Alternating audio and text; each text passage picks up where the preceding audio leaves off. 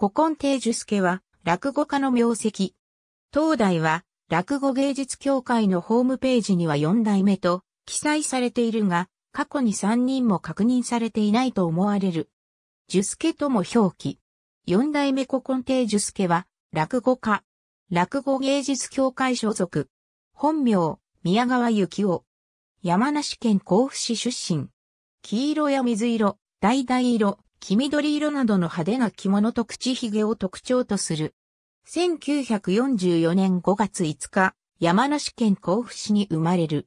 高校卒業後に上京して、京橋の銀製品店に就職するも、落語家の道を諦められず、1968年4月、三代目、三遊亭窓上に入門した。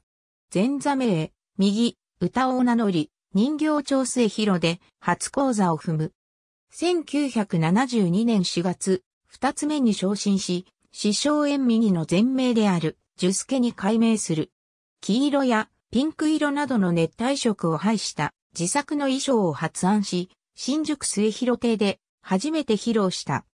また、この時期には東北放送と山形放送でラジオ番組のレギュラーを受け持ち、10年間ほど東北が宵を続けている。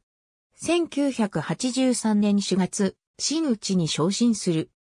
弟子、六代目古今亭、今助の新内昇進披露工場が、商店で取り行われた際は、大師匠である今助の大名後を弟子が継ぐことになったことで、自分を追い抜いてしまって、面白くないと祝福の言葉を送った。ありがとうございます。